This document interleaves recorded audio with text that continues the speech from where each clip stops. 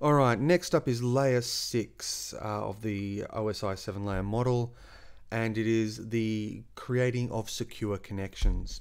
So the presentation layer is responsible for a number of um, things. It's also known as the syntax layer because it's responsible for the serialization or encoding of complex data structures into what they call flat byte streams, the compression of said data, and the encryption of data streams.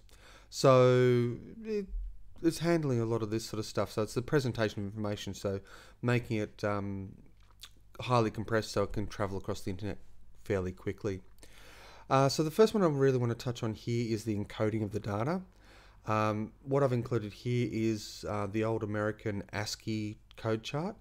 And the particular elements I want to pick out for you is basically instead of mathematically defining every symbol and that sort of stuff, what's been done is it's been simplified into a 7-bit ASCII code.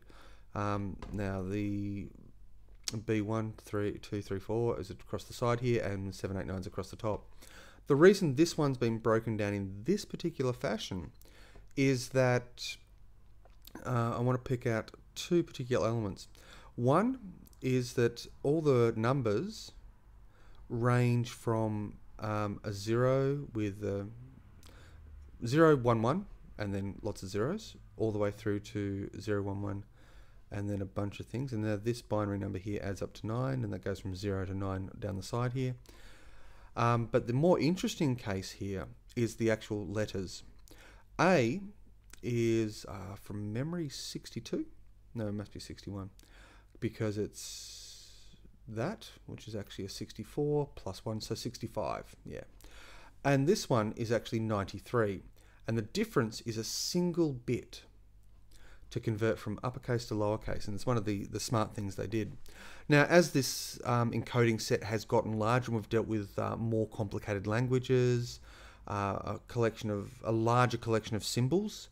Uh, encoding standards have been expanded. There was the 8-bit ASCII and a whole bunch of other ones that I can't remember off the top of my head. Uh, but UTF uh, 8 and UTF 16, which are now the international standards that encode pretty much all the characters around the world. Finally, or secondly, there's compression.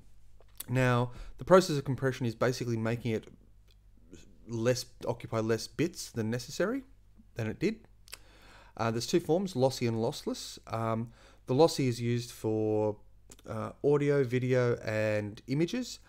And if you're dealing with text, it's generally going to, to be lossless uh, because text require look at an with an image you can look at it and as long as it, a photo looks about right your brain will interpret the rest and it's fine.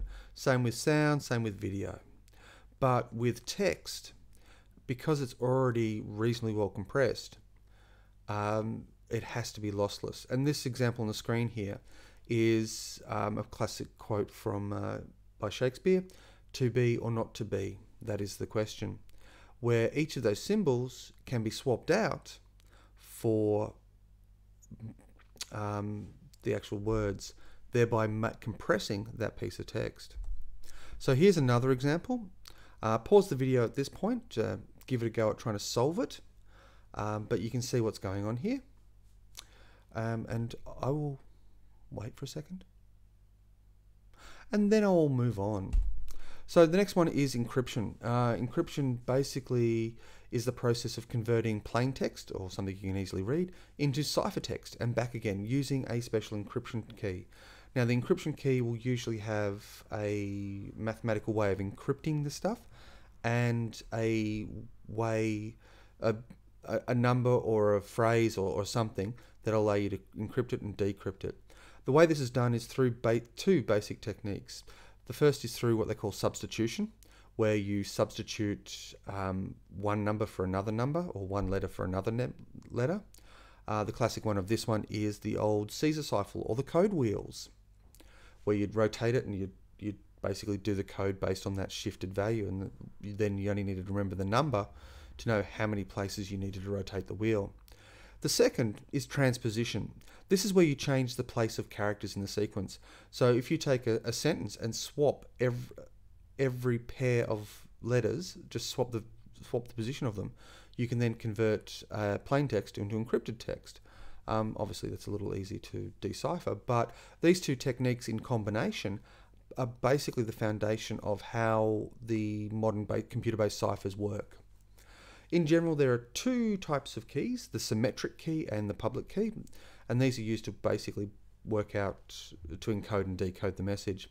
So a symmetric key is the same thing that's applied to encode and decode, and public private key encryption has two sets of keys, one public, one private. The public key is the one you give out. And basically what happens with this one is you can have a message um, encrypted with the, with the public key, and then you can get your private key, and that's the only one that can unlock it. Um, and that's used uh, across the world these days. Um, now, I've also put a note that this can actually happen across multiple layers, and you can see them all listed down the bottom there.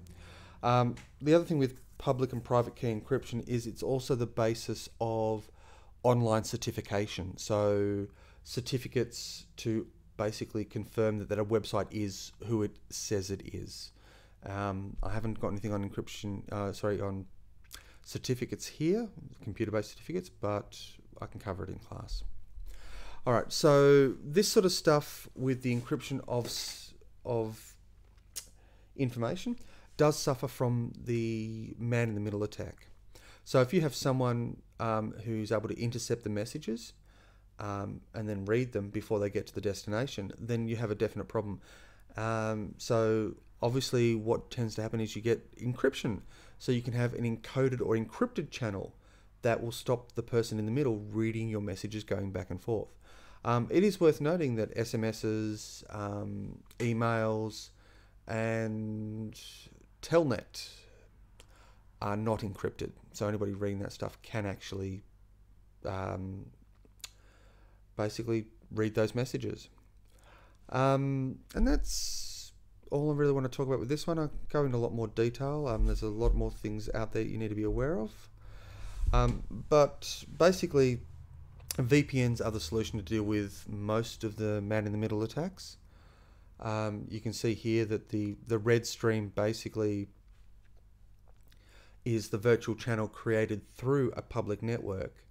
But because it's encrypted, it means that you can't actually access it. Now, it is also worth noting that not all VPNs or virtual private networks are use encrypted channels, um, but it is a thing. Yeah, this is sort of you know, a piece of tech to be aware of. And that's it for this one. Thank you for your time.